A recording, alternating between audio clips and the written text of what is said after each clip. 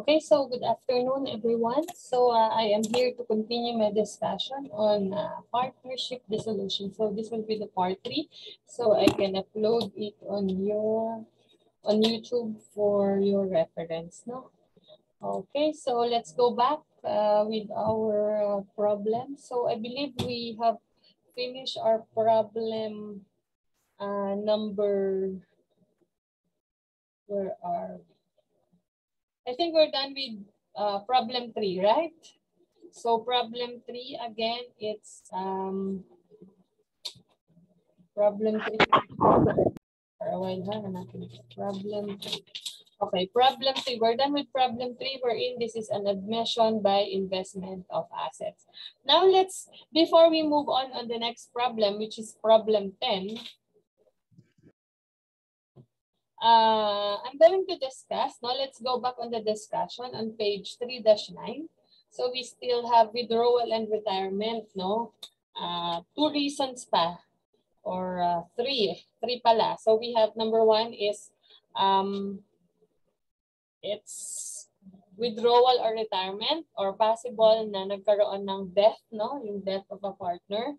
And last will be the incorporation of a partnership. So before we move on the problems, I just want to give a little discussion on this matter. Actually, halos pareho lang din naman dun sa nauna, no? yung purchase tsaka sa admission. Pero yun nga, um, depende lang din ito no? kung, kung, kung sino yung bumili, okay? kung sino yung nag-retire, Okay, kung saan ibinenta, pwede kasing sa insider, pwedeng sa outsider. Okay, so as a continuation, on 3-9, uh, this is the third, no? Third cause of dissolution. Okay, uh, we're done with the first two. So withdrawal or retirement of a partner. So when we say withdrawal, so ayun nga, ayaw na niya. So technically, so uh, possible na uh, he's already at age or kung whatever reason, no? A, part, a partner may withdraw or retire from the partnership. Uh, pwedeng old age, pwedeng another career, etc., etc. So this type of dissolution may be accomplished by the following ways. One is by selling his equity interest to one or more of the remaining partners. So pwede niyang ibenta dun sa remaining partners. Or by selling his equity interest to an outsider So kapag ka-outsider, so parang babalik lang din tayo doon sa first discussion natin or doon sa first cause which is the purchase of interest. So it's only uh, a transfer, no? Or by selling his equity to the partnership. So meaning to say, wala nang i-admit na uh, another partner so o another outsider, no? So sila-sila na lang. Okay? So let's move on the illustration on page 3-10. Okay. Um, suppose Remedios Palaganas is retiring in mid-year from the partnership of Almazan, Saklot, and Palaganas because of family relocation. Physical distance will prevent, so sinabi lang, makunento lang, no? Physical distance will prevent her from coping with the daily rigors of their fashion and beauty consulting business. After the books have been adjusted for semi-annual profits, but for before revaluation, their capital balances are as follows. Okay, so that's it. Almazan 540, Saklot 430, Palaganas 210. An independent appraiser revalued their cosmetics inventory to 380. It's a decrease of 60,000 and their land to 1 million 10, an increase of 460. The profit and loss of the partners is 1 is to 2 is to 1. Okay, nang ginawa na actually natin to kanina no sa problem 2 I think, yung may revaluation tayo. Yung kay o problem 1. Saan ba yung may ginawa tayo kanina, right? Hindi ko na maalala. O problem 3. Yeah, this problem 3, no? Yan yung kanina. Okay? So, may revaluation. So, it's just the same as here. So, the entries to record the revaluation of assets. So, parang yung kanina, no? So, first is we record yung 60,000 na decrease. So, uh, yung decrease ng inventory or cosmetics inventory will result to a debit to the old partner's capital account which is ito, uh, as shown, di ba? At page 3-10. So, it was divided based on their P&L ratio. So again, just to remind you, parang yung tanong ni Carl kanina, when we are on partnership dissolution, the rule will be the partnership operation rule or yung division of profits and losses. Kapag loss, di ba? Kasi this is considered to be a loss kasi mababawasan yung equity. Uh, first is, if there is um, an agreement as to a division of loss. If not, of course, division of profit. Pag walang division of profit, then based on capital balance. Sa capital balance, pag walang sinabi, original, then beginning. Pag wala pa rin at ending yung nandun, yun yung gagamitin natin. Hindi kasi tayo pwedeng manghula. Kapag weighted average naman, of course, it will be, uh, sasabihin din yun sa problem kasi we will compute for the weighted average capital. Okay? So as you can see, it was divided according to their P&L ratio kasi yun yung given na uh, in, in accordance with priority, loss muna pero wala because but we have for profit. Actually, yun na, P&L na siya. So yun na yung profit, yun din yung loss. So yun na yung gagamitin natin. So 1 is to 2 is to 1. That's why we derive a ratio of 1, 4, 1 over 4, 2 over 4, and 1 is to 4. So divided among the partners, so Almasan have 15, 30 for Saklot, and Palaganas for 15. So it was debited to their capital account as, as shown and a credit to cosmetic inventory to revalue to revaluate, no? I-revalue natin yung kanyang assets. Then, on the land which has an increase, so automatically, no? It's a credit to their capital account and also an increase in their existing asset which is land. So, yan na yung land ngayon. Land 460 and a credit to the following partner's capital. Using the P&L ratio pa rin and the computation was shown below. So after the revaluation, so yung sa book kasi class, hindi niya ginawang table, di ba? Pero mas madali if I were you to make a table para mas madali using your columnar para mas madali sa inyo to compute. Now, uh, Melinda Albasan, Okay, so the, the beginning is 540. Siguro you can just, just check on your own calculator. 540 plus 50, sorry, minus 15 plus 115. So if you may check, yan po ang uh, lalabas. Actually ako, hindi ako nag-check, no? Pero of course, I believe with the books na tama yan, no? Okay, so if you kung sa tingin nyo mali yan, then you can just tell me. Pero ako, uh, I, I assume it's correct. Uh, okay? Okay, are we clear? Okay, now, next. For, um, actually, the computation is, is shown, di ba yan, no? Sa baba. For saklot, it's 630 and for palaganas, it's 310. Okay? So, uh, that's the adjusted contributed capital, gaya ng ginawa natin sa problem number 3. Now, case 1, withdrawal at book value. So when we say book value, yan yung value niya at the date of retirement. Okay, so um, assume that Remedios Palaganas agreed to accept payment equal to her interest. Okay? So, ibabalik lang natin, no? Kasi si Palaganas yung nag-retire or nag-withdraw. So, a debit to Remedios Palaganas capital of 310 and a credit to cash. Kasi yan lang yung binayaran sa kanya. No loss or gain. Okay, now. Next. Withdrawal at more than book value. So, dito, uh, sa withdrawal, ginagamitan din natin ito ng bonus method. The question there is, sino ang may bonus? May bonus yung retiring partner o ang may bonus yung matitirang partners or the remaining partners. So, depende. Kapag ang kinuha or uh, binayad dun sa retiring partner is less than, mas mababa dun sa kanyang equity, then the old partners will be having a bonus. ba? sila yung may bonus. Pero kung mas mataas sa equity niya, Ibig sabihin, yung retiring partner has a bonus which has, shall be borne by the remaining partners. Ganun din yung isa kanina. Kapag all partners or the remaining partners will be having the bonus, ang magbuborner or mag-shoulder nun will be the retiring partner. Okay, withdrawal at more than book value. Assume that Remedios Palaganas demanded a 400,000 settlement for his interest. Kaya lang, di ba, ang kanyang interest is only 310,000 Meaning to say, it is more than the book value. Okay, so ibig sabihin, and of course, again, ha, this should be agreed.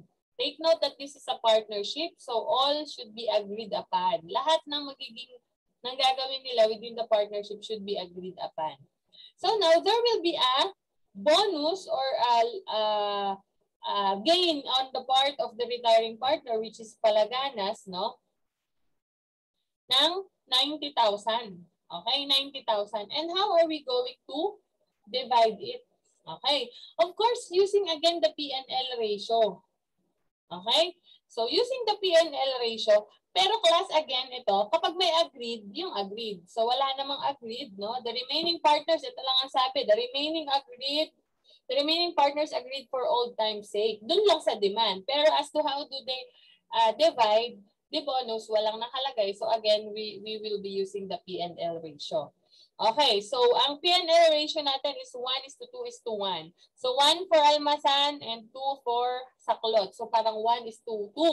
So we have to derive a formula, again, a fraction of 1 over 3 and 2 over 3. That's why we have 30,000 for almasan and 60,000 will be borne by saklot for a total of 90,000. So the entry is just to close, no? Tatanggalin na natin si Remedios Palaganas. Iko-close na natin yung buong capital account niya kasi aalis na siya for partnership or she will be um, retiring. So it's a debit to Almazan 30,000, Saklot for 60,000 and Palaganas of 310,000. Then a credit to cash for 400,000. Pag withdrawal naman less than book value, so baliktad naman.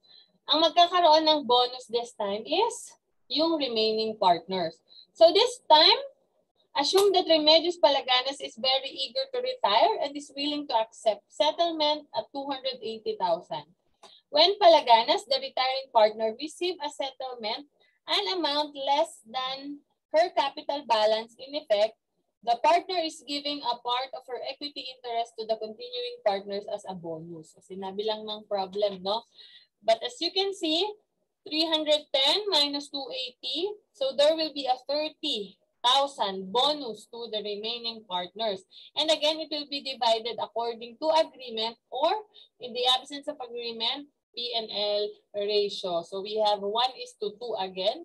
So 30,000 times 1 over 3 for 10,000 and 2 over 3 times 30,000 is 20,000.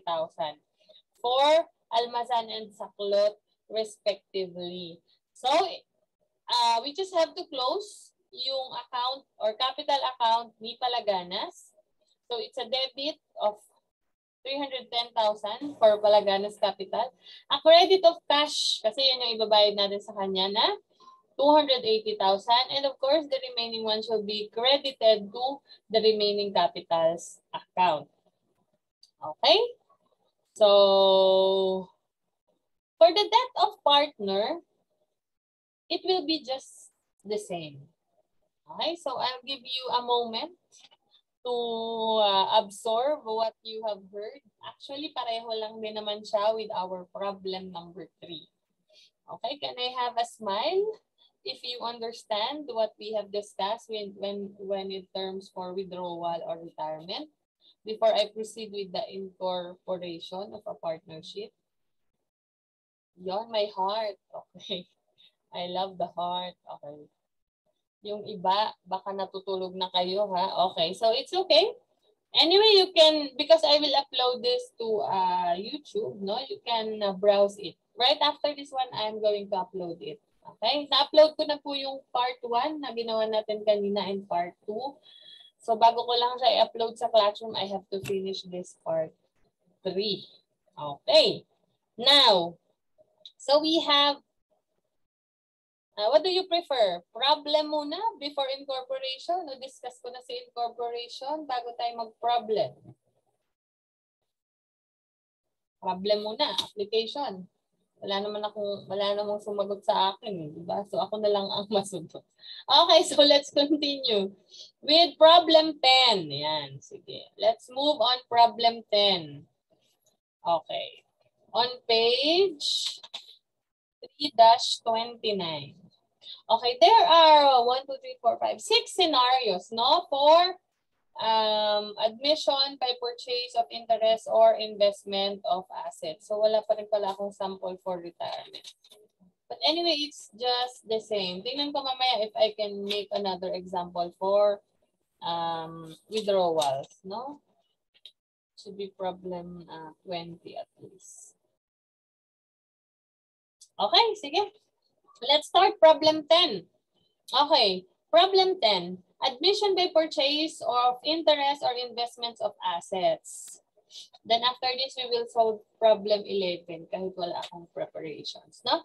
Okay, Dolores Aguilar is solved Dolores Aguilar, Isolde Sestrina, and Beth Digalbal are partners in Cavite Realty Realty Company. Their capital balances at, as of July 31, 2019 are as follows. So Aguilar with a credit balance of 450, Sustrina for a balance with a credit balance of 150, Bigalbal Capital with a credit balance of 300,000. Each partner has agreed to admit Nelly Pascual to the partnership.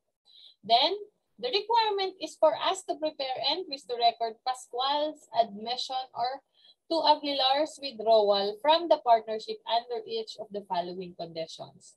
So letter A, Pascual paid 125,000 for 20% of Aguilar's interest in the partnership. So this is just admission, no? By purchase of interest. Okay? So it's just a mere transfer of capital balance from the seller to the buyer. Okay. For Aguilar, it's 450 ang kanyang equity. At binili daw ni, no, ni Pascual yung capital account niya for 125,000 which is 20%. So all we need to do is 450 450 times 0.20%. So that's it. It's a debit to Aguilar Capital, 90,000, and a credit to Pascual Capital, 90,000. Okay? So gaya ng question ni Mary Jane kanina, no, dun sa unang discussion natin. So hindi natin i-record yung gain niya because that is a personal gain for Aguilar. Okay, I hope uh, I, I make it clear. Next, letter B. You can react if you want. Okay, letter B. Pascual invested 200,000 in the partnership and received an interest equal to her investment. So this is just an investment, no? So all you need to do is to record. Wala namang maapektuhan sa capital account ng mga remaining partners or old partners. So all we need to do is to debit a 200 cash and according to the problem, yan din daw yung um, interest, no? capital interest na magigain niya for investing 200,000. So that's it. We're done, di ba? Ganun lang siya kasimple. Now, let's move on letter C. For letter C, Pascual invested cash in the partnership for a 20% interest in the business.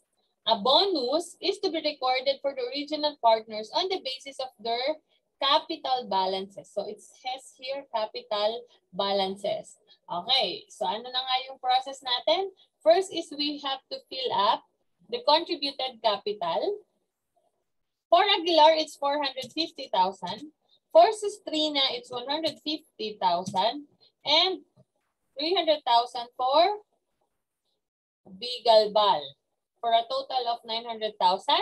Then under the contributed capital, diba, it's plus the actual investment of the new partner, which is 300,000. Okay? For a total of 1.2 million. Okay. That's 1.2 million. Ang sabi dito, the new partner, ito, kaya nilagay ko to dito, the new partner will receive a 20% interest, which means the old partners will be receiving 80,000. So actually, I have my formula here. 1.2 million times 20%, that is 240,000. So meaning to say, dapat ang sa old partners would be, it should be 960,000. Okay, so let's uh, try to compute. If you're going to, the next thing that you need to do is to look for the difference, no? Doon sa contributed capital and agreed capital of the uh, new partner, which is, this will be have a negative 60, no? Ibig sabihin, less than 60,000. This bonus will be given to the old partners. Sabi niya dyan, a bonus is to be recorded for the original partners on the basis of their capital balances. So ito siya, oh. 450, 150, and 300. So this one is the capital interest. Capital interest of the old partners. So deriving a formula So we can compute for a bonus 60,000 times 450 over 900. 60,000 times 150 over 900. And last will be, I'm sorry, 60,000 times 300 over 900. I'll just check here. Okay, it should be divided. So that's it. The bonus will be 30,000, 10,000 for Sistrina, and 60,000 for, sorry, mali ito. And 20,000 for Bigalbal. Okay, for a total of 60. Okay, now, the agreed capital after the bonus will be Ayan. 480 for Aguilar, Sistrina 160, 320 for Bigalbal for total of 960 plus the new partners for a total of 1.2 million. Okay. To record the transaction, okay. So mali itong ginawa ko dito. It should be kulang dito. Okay. Now, cash. Magkaning cash? 300,000. Pascual capital? 300,000.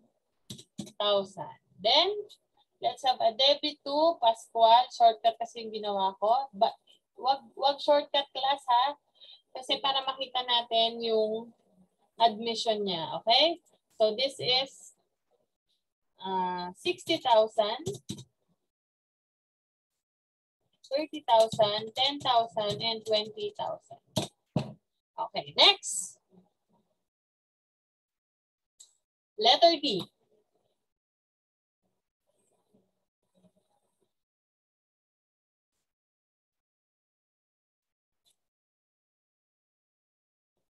Okay, for letter D. Okay, let's start with letter D.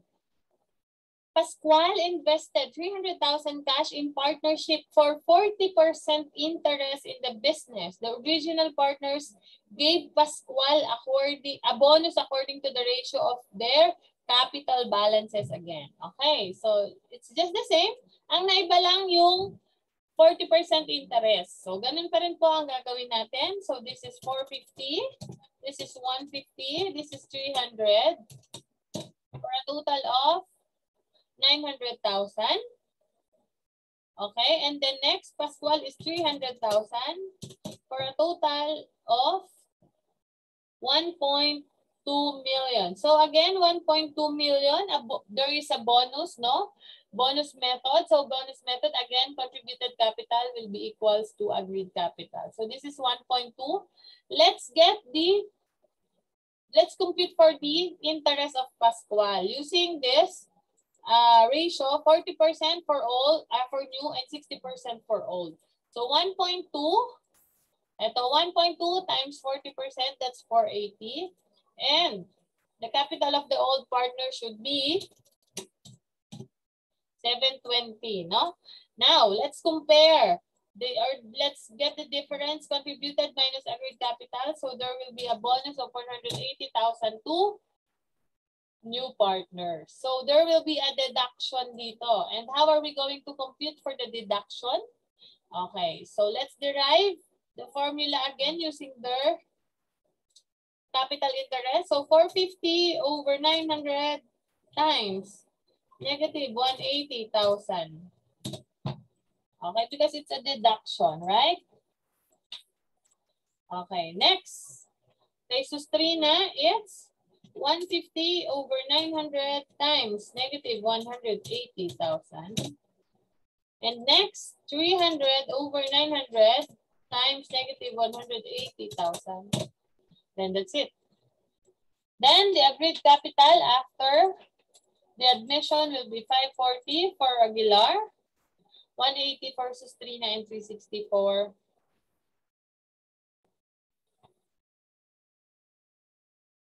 Bakit sobra? Okay, this should be addition. Okay, yung rule of integer lang. Okay? Okay, that's the rule of integer. Minus, minus, minus, mi minus the negative, it become positive. So, ginawa ko siyang addition. Okay, so that's it. To present it, no? Okay, next. Ito, may letter E, may withdrawal. Ay, sorry, entry. Entry will be for 300,000. 300,000. And then Aguilar Capital for 90,000, 30,000, and ano yung isa? 60,000 for a total of 180,000. Okay. Letter E. Aguilar withdrew, withdrew from the partnership taking 525,000. The excess of withdrawn assets over Aguilar's partnership interest is distributed again according to the balance of capital accounts. So ang, ang withdrawal niya is 525. Ang interest niya is how much? 450. Si Aguilar. So there will be a difference of 75,000. And that 75,000, okay, let's compute it, no? It will a bonus to the retiring partner. So we have to compute it this way. So we have 150 over 450 times 75 and also uh, 300 over 450 times 75. Okay, I'll just have to put it here, 150 and 300. Okay, then let's have it here. Negative 25 and negative 50,000. So, adjusted capital will be this one. So, how are we going to um, journalize? Of course, a debit to Aguilar capital of 450,000, sustain of 25,000, 75, 50,000 for Bigalbal, and a cash for 525,000. Okay. Last but not the least, no? Aguilar withdrew by selling her interest directly to Pascual. Okay. Kay Aguilar lang, yung buo. So all you need to do is to record it. Just last. Yan. Ganyan lang din siya. I-record mo lang siya ng ganyan.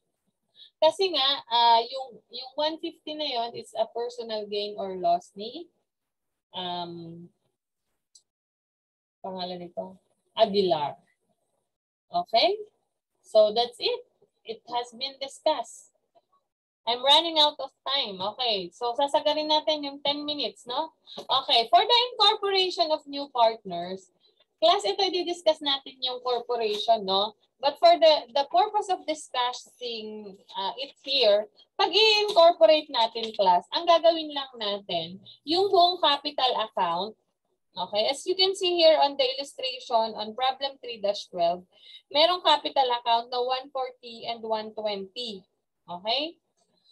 Pero, uh, bago tayo mag-incorporate, ang gagawin natin, we have to adjust everything. Katulad nito, may agreement nila, sila to adjust um, provide allowance for doubtful accounts, accounts, restatement of inventory to its current value, and additional the recogni recognition of depreciation on equipment. So, binago, uh, nagkaroon tayo ng um, revaluation ng asset. So, i-revalue muna natin. So, ang nangyari dyan, uh, yung supposed to be 260,000, no? 260,000 ang nangyari dun sa 260,000, nagkaroon ng allowance for doubtful account. So anong nangyari? It's a minus to capital account. Tama? And then yung inventory daw, from 140 it became 160. So it's an additional 20,000. Okay? So I hope you could still follow. Diba? Then next. Then next is yung nagkaroon ng additional depreciation, it's an adjustment to um, capital account, a minus to capital account na 3,000, so 267,000 ang capital account. Now, ang sabi dito sa problem, the corporation's uh, share capital will have a par value of 100. And the whole equity, no, yung whole equity account ay gagamiting ordinary shares or i-convert natin sa shares. Ngayon class, ang trick lang dito sa incorporate uh, sa sa corporation, yung capital account, possible kasi hindi yun yung uh, ito sinabi niya na that the whole 267,000 ang par value nun is ang par value nun is 100. So meaning to say if you divide it by 100, ang shares na meron tayo upon incorporation ng partnership is 2,670 kasi 267 divided by 100 par value. Kaya lang may mga instances na um, bibigay yung number of shares. Halimbawa ito, ang sinabi lang ng problem, um, 2,000 shares. Halimbawa lang, no? 2,000 shares and the par value is 100. Magkano yon? 2,000 times 100. That's 200,000. So yan lang yung i-credit natin sa ordinary share. Eh ma'am, ano pong gagawin sa 67,000? Yun naman ang i-credit natin sa share premium. No? I will thoroughly discuss it pag nasa corporation na tayo. So, sa corporation, yun yung ginagamit nating capital account. So, alam na natin, sa sole partnership, pareho lang, no? Capital account. Pero pagdating na dito, wala nang mga pangalan. Lahat yan ordinary share, lahat yan preferred share, may preference share pa nga tinatawag, at lahat yan share premium. For you to understand it well, I want to re, uh, move on problem 23. Page 3-41. Okay. The condensed statement of financial position of the partnership of Buen Buenaflor and Gangoso as of December 31 showed the following. So may asset daw na 200, may liabilities na 40, may capital na total na 160. 80-80 sila pareho. On this date, the partnership was dissolved and its net asset is transferred to a newly formed corporation. The fair value of assets was 24,000 more than the carrying amount of the value of value on the firm's books. So, ibig sabihin, if you have your calculator with you, 200,000 plus 24,000. Okay, iligawin ko na sa Excel, no? Dito. Okay. Ibig sabihin, this one will be 200,000 plus 24,000. Yan na ngayon yung inyong assets. And still, your liabilities will be Okay, lagay ko na nga dito ha. So, ito na yung asset natin, 224,000. Your liabilities will be still 40,000. Okay, so malinaw na yan, no? Now, next. Each partner was issued 10,000 shares of the corporation's one par, par ordinary shares. Okay. Pag sinabing issue, ibig sabihin nun, ini inisyo inisyo pa lang natin. Okay? So, how are we going to do that?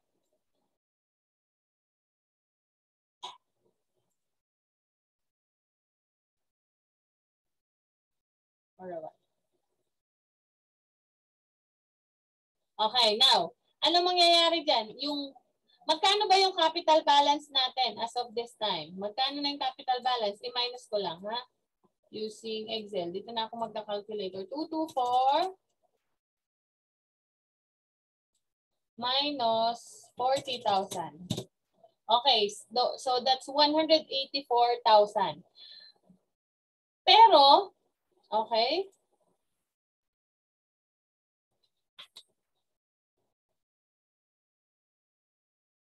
Pero ang share premium lang nila is based on their capital account. Magkano ba yung capital account nila?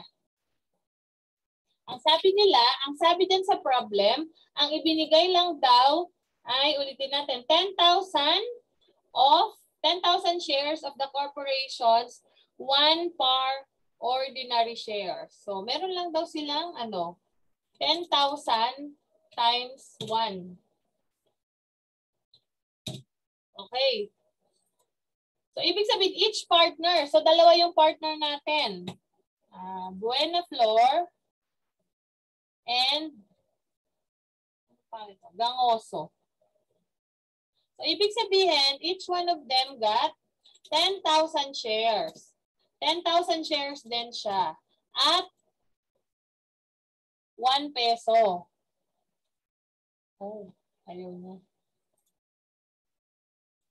Okay. At 1 peso ang par value. Piso, no? So pag minultiply ko to sa piso, ibig sabihin, yan lang din yung value ng ordinary shares, di ba? Total lang naman natin yan. So that's 20,000. Now, ma'am, ano pong gagawin dun sa excess? Okay, the excess is, malaki yung excess class. Minus 20. So 164,000 yung excess. And that is considered to be a share premium. Kasi yung 10,000 lang yung na-issue. Ma'am, ano pong effect ng share premium at ordinary share? So yan ay i-discuss ko on chapter 5 pagka nasa corporations corporation na tayo. Okay? So sa ngayon, ang intindihin nyo lang kung paano nyo siya i-convert